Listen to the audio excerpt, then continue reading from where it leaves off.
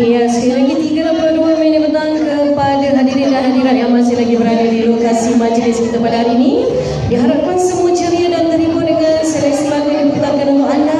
Dan sekali lagi juga ya, diucapkan ribuan terima kasih kepada kumpulan gamelan kita di atas persembahan mereka sepanjang majlis pada hari ini. Jom kita teruskan dengan seleksi lagu hiburan untuk semua. Diharapkan semua terhibur dan daripada yang sedang menjamu selera. Selamat menikmati hidangan anda.